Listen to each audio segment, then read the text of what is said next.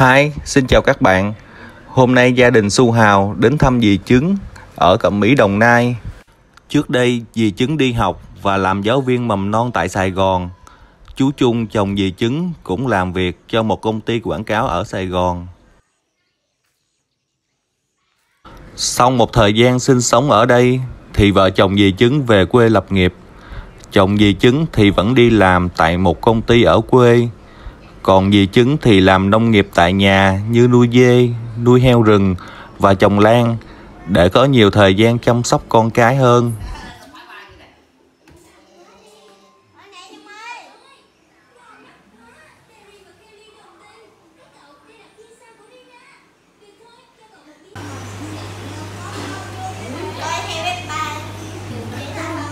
hai em xin đôi nè có dung bi nè hai hả trước khi thăm mời mọi người đầu tiên em xin đôi gì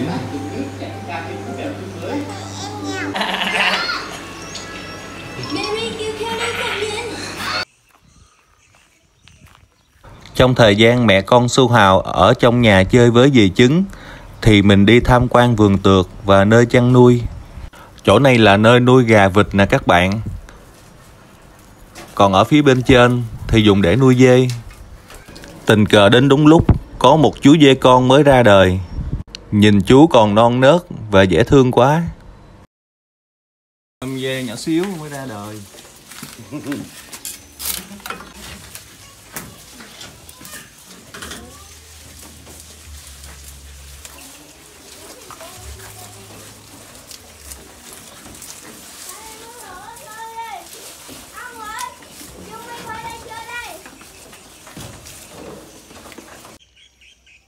Sau khi ghé thăm mấy chú dê thì mình ghé qua chuồng nuôi heo rừng.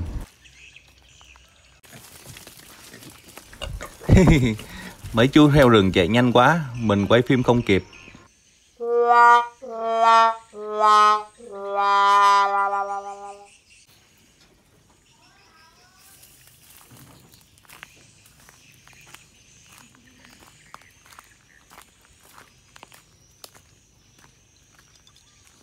Còn đây là nơi trồng cỏ để nuôi dê.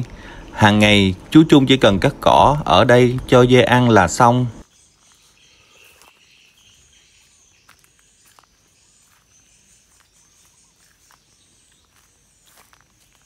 Cuộc sống ở nông thôn bình yên giản dị, chi phí sinh hoạt thấp, thu nhập làm công của chú Trung và làm nông nghiệp tại nhà của dì Trứng cũng đủ sống. Trước đây, nhà dì Chứng và chú Trung chỉ có một cô con gái, nhưng kể từ khi về quê sinh sống thì nhà dì Chứng đã có bốn cô con chúa nhỏ.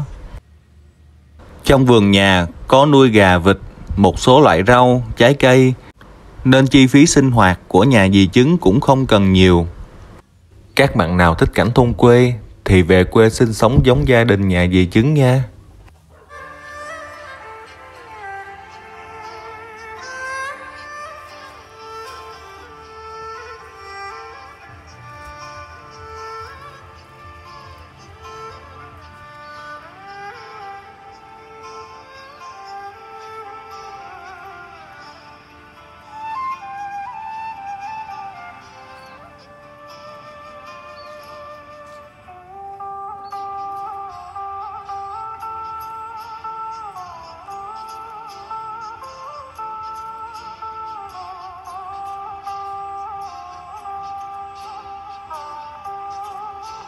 Về nhà có hai ờ, vợ chồng nữa hả?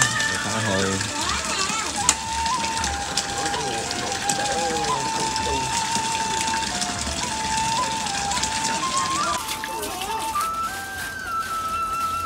Ồ.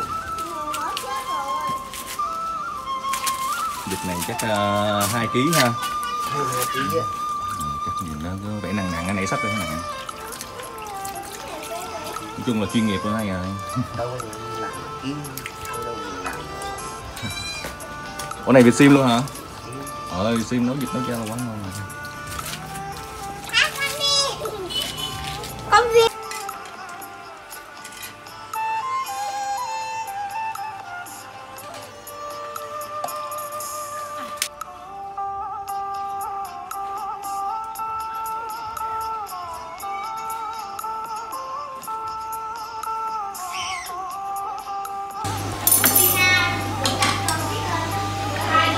Xong rồi không với chung bưng bưng nhâm cho nó à. coi chừng mấy đứa nha.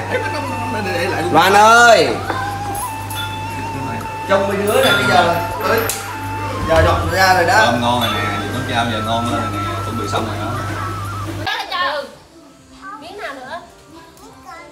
Rồi con để ăn muộn nha. Dương mới ăn gì? Dương ăn gì? dạ Xin mẹ đây đi ngon quá. Cái lẩu nè. Đó chén của con đó nè ăn xong rồi lấy lẩu ra nha đây nè lẩu bò nè Có hai em nè, hai em đồ ăn nè, em My à muỗng hả? Đi ơi lấy cho em cái muỗng.